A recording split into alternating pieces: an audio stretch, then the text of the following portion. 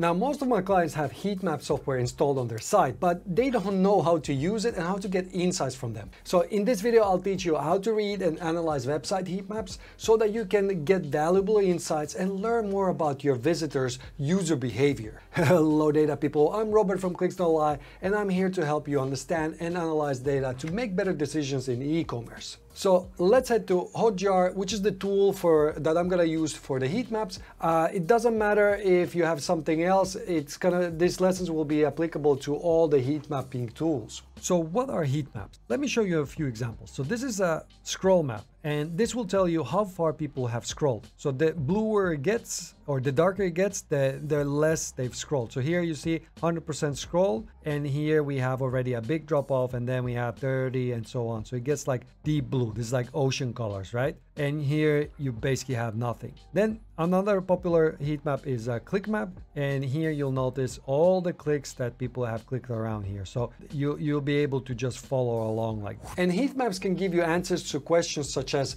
are people clicking on your main elements, CTAs and links? Or maybe do uh, people get distracted by non-clickable elements like images? And then are people seeing your important content or maybe they never scroll that far enough? And just in short, if we talk about how to set up heat maps, usually you just install one script on your website, uh, be that if you use Google Tag Manager or you just directly install it. It's super easy and you don't need to know any coding or anything like that. You just copy it. Uh, all the tools give it to you. And uh, I've been using a lot Hotjar, but there's another free tool from Microsoft. It's called Clarity. You might want to check it out. It's uh, totally free and you get all that data. Now, one thing I want to mention once you install it and you start getting some uh, page views, that you need to wait long enough that you have enough data. So for example, here for uh, desktop, I have about 200 sessions and that's that's not really enough yet. Uh, if you get somewhere closer to uh, 500 or the perfect number would be around 1000 but i know if you have a smaller website it's way too long to wait. So if you start getting 250 300 you can start looking at it. But if you have 23 or 50 or something like that do not trust it. Because if you look at mobile here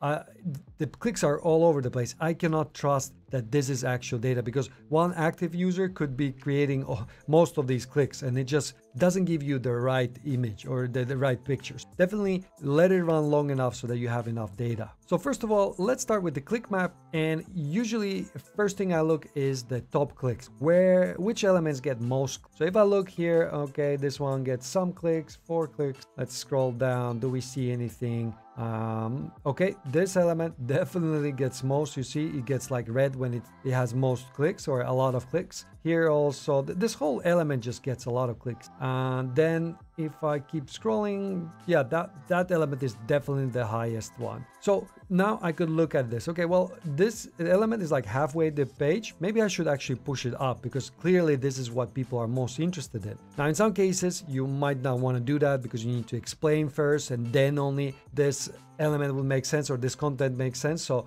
uh, really think about it. But in my case, I might even experiment by putting it uh, the second on the page so that people just have easier access and they get to get to the content that is useful to them. The second thing I like to look at in click maps is where people click on uh, non-clickable elements. Like here, I have four clicks on this one, but it's not a link. It doesn't look like it's clickable, but for some reason people are still clicking on it and clearly on, in one spot. So does that, is this just a coincidence? Like these two, these are clearly nothing that people uh, on purpose click because you know sometimes if you're reading something you're just clicking around help you yourself to read through it or skim through it. So i would definitely look into it. If my testimonials would have a lot of clicks i would uh, right now they're not clickable but if they were clicked a lot i would add uh, you know a bigger image behind them or i would just make it something more interactive because people are clicking on it. So i definitely advise you to to just go through the heat map and see if there's any elements that are getting clicks that shouldn't get any clicks and and then you need to think about why are they getting. And third thing, for example, here at the top, you can ignore these clicks like on the text and stuff like that. Most of the time, it is not because people think it's a link. Uh, so clearly this is not a link. However, if this was underlined and then you have a lot of clicks on that underlined part, then you might think, oh, okay, well, I underlined this and people are clicking on it because they think it's a link, but it's not. So maybe you need to remove the underline or you just make it into a link if it makes sense. And third, uh, fourth one that I like to look is if you scroll down here, uh, I have FAQ section. This will tell me which FAQs are the most interesting to people. So clearly, can I pay with invoice is getting at least three clicks. Uh, here also three. Uh, the other ones haven't been even clicked. So I could at least uh, put these on top of the FAQ. Maybe even talk about uh, can I pay with invoices somewhere in my content since uh, people that reach this far, there's not that many of them. So uh, something I could consider, but it just helps you also see what is popular in your FAQ sections or maybe in your menu links. What are people actually clicking? And by the way, data is not created equal and you should be only looking at data that is relevant to your role. That's why I've created a cheat sheet which shows you the most important metrics and KPIs specific to different e-commerce roles. Uh, you can download it by clicking on the first link in the video description. So if you look at the scroll map, Grab this one is interesting. It starts with red and then it just gets darker and darker. And what you're looking here is for drastic changes in color. So you can see here I have red, it changes immediately to red it should be more gradual and then immediately to blue. This is not normal. It should be gradual change. What does now, what does this tell me right now? I think a lot of people land on my website on, on this page, but then they leave immediately. They don't even scroll. They just open a link, but they never actually do anything on the page. And you see these differences. This is probably the most, the smaller screen sizes people come and then there's a bigger screen sizes here. And only here people start scrolling. You can see there's just huge drop off. That, that is not normal. So once people do scroll here,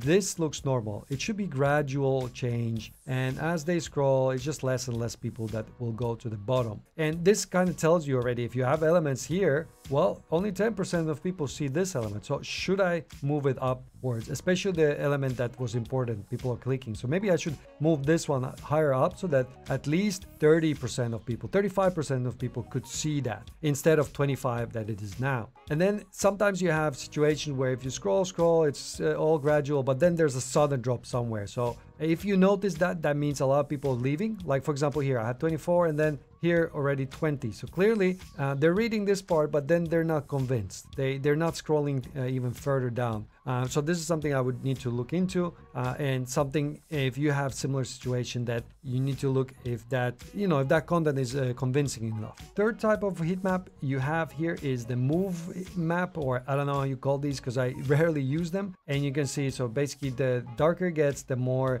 mouse activity is there. So usually, you know, you hover over it or you click on it, then it gets sort of more red. Honestly, I never use this because I just don't find value in it, especially if you have a, lot of traffic on mobile. This doesn't even work there. So I, I haven't found any value in using it. You might just check it out. Now you know how to get insights from heat maps, but just looking at web data without knowing how to turn it into insights will just waste your time. That's why you should watch this video next where I'll teach you my 6-step system to turn data into insights.